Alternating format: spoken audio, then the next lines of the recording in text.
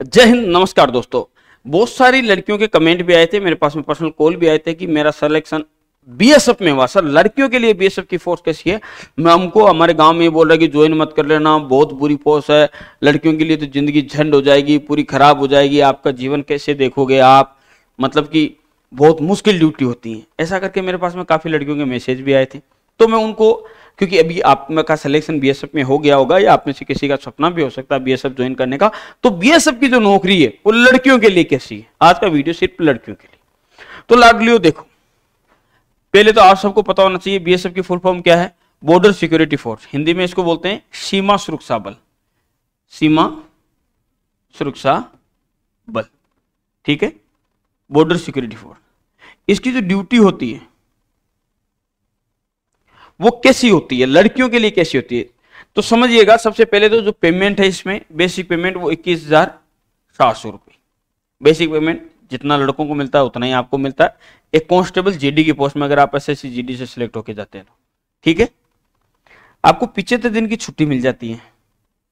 नब्बे दिन के बारे में काफ़ी बच्चे बोल रहे हैं, नब्बे दिन की नहीं होती बेटा, पिछहत्तर दिन की होती है। इसमें क्या होता है? साठ दिन की होती है ईएल और पंद्रह दिन की होती है सीएल जो ये सीएल होती है ना, इसमें अगर मान के चलिए जो पंद्रह दिन ले रहे हो और इसमें अगर बीच के दौरान चार दिन की कोई गवर्नमेंट छुट्टी है तो ये भी एड होकर ये कितने दिन की हो जाएगी? ये उन्नीस दिन की हो जाएगी। ऐसा करके आपको साल में औसतन अस्सी दिन के आसपास छुट्टी मिल जाती है बेटियों। जितनी भी लड़कियाँ हैं, उनको बता रहा हूँ, अस्सी दिन के आसपास की। अब लड़कियों की तरफ़ से ये क्वेश्चन ज़्यादा आता है कि सर फैमिली रखने की सुविधा होती है या नहीं होती है। तो मैं आपको बता दूँ, सब जगह नहीं होती है और कुछ जगह होती भी है। जब आप किसी बॉर्डर एरिया में ड्यूटी कर रहे होते हो जैसे मान लीजिए जम्मू कश्मीर के साथ में जो एरिया लगता है पाकिस्तान का तो वहाँ पर नहीं भी होगी। या आप राजस्थान में मेन बॉर्डर एरिया में ड्यूटी कर रहे हो, जो पाकिस्तान और राजस्थान के जो सीमा रेखा लगती है इसमें तो यहाँ पर जब आप रहते हो तो आपको फैमिली रखने की सुविधा नहीं भी मिलेगी। आप अपने परिवार के साथ नहीं भी रह सकते। लेकिन मैं आपको बता दूँ कि हर चौथे साल या तीन से चार साल के भीतर आपका ट्रांसफ़र होता है बीएसएफ में। और फिर आपको तीन से चार साल अगर आप बाहर रह गए तो आपको बिल्कुल तीन से चार साल वापस फैमिली रखने की परमिशन भी मिल जाती है। आप अपने परिवार के साथ भी रह सकते हो, इसमें कोई संदेह नहीं है। जब आप किसी भी कैंप के अंदर रहते हो, तब ड्यूटी कैसी होती है सर देखिए बेटा ड्यूटी तो हार्ड तो होती है, इसमें कोई संदेह नहीं। मैं ये नहीं बोलूँगा कि बहुत आसान ड्यूटी होती है, नहीं। आप सीमा सुरक्षा बल के हिस्सेदार हो, यानी बॉर्डर की रक्षा करने वाला ये बल है। तो आप समझ सकते हो कितनी ज़िम्मेदारी भरा काम होता है, बिल्कुल हार्ड ड्यूटी होती है, बहुत मुश्किल हालात भी होते हैं। लेकिन आप वो है जिनका सपना है वर्दी पहनने का, जो प्रूव करते हैं दुनिया में कि हम किसी से कम नहीं, जहाँ बात होती है लड़के और लड़कियाँ बराबर है, आप उनमें से हैं, आप ये प्रूव करते हैं लोगों के सामने कि लड़कियाँ कहीं से भी लड़कों से कम नहीं है। आप दमखम वाले इंसान हैं। आप वो मेकअप लिपस्टिक वाले लोग नहीं है।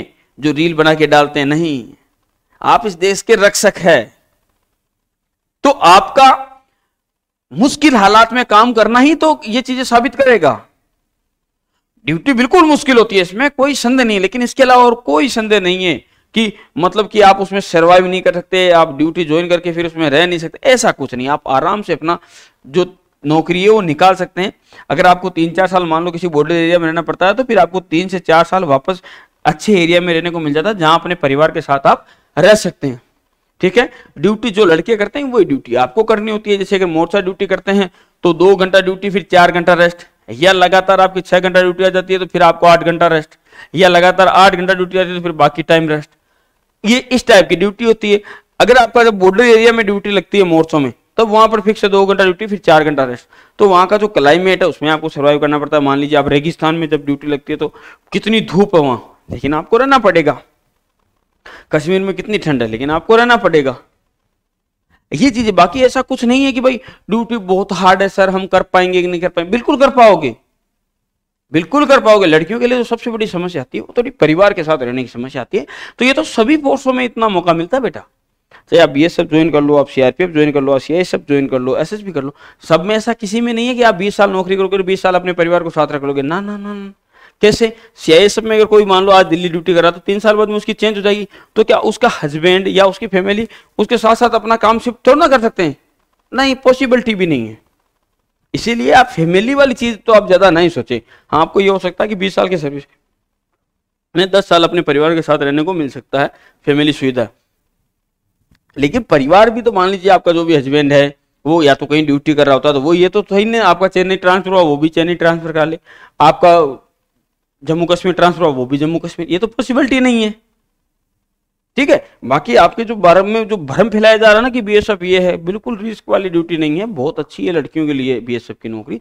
बहुत गजब की है बेटा, और जीवन में कुछ ना कुछ करना आपको। तो आप उन लोगों की मत सुनिए जो नकारात्मक बात करते हैं। ठीक है? जीवन में कुछ करना है तो कष्ट उठाना पड़ेगा मेरे लाल। इसमें कोई संदेह नहीं है। ठीक है? आप बिल्कुल कर सकते हैं। किसी के कहने से ऐसा मत करना कि आप ज्वाइन ना करें। नहीं। आपके अंदर क्षमता है। ट्रेनिंग आपको दी जाएगी। वहाँ पर किस प्रकार से रखा जाएगा? ट्रेनिंग के दौरान आप ऐसे मज़बूत बन के निकलोगे कि जीवन में फिर कभी पीछे मुड़ के नहीं देखोगे।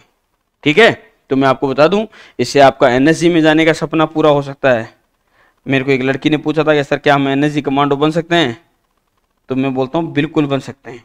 जो ब्लैकेट कमांडो होते हैं ना वो, बिल्कुल बन सकते हैं आप ब्लैकेट कमांडो जब आपकी बी में चार साल की सर्विस हो जाएगी, फिर आप स्वैच्छिक बिल्कुल ब्लैकेट कमांडो में जा सकते हैं, यानी एनएसजी में जा सकते हो। आपको एनएसजी में, आपको पता है एनएसजी की क्या रिस्पेक्ट है देश में। वर्दी दे के ऐसे दिल खुश सा हो जाता है। समझे बात को? तो आपको भी उसमें जाने का सपना पूरा होगा। कुछ करके दिखाइए इस जीवन में, और आप उनमें से एक है, ठीक है, जो सपना देखते हैं बॉर्डर पर ड्यूटी करने का। ठीक है लाडलियों? जय हिंद, जय भारत।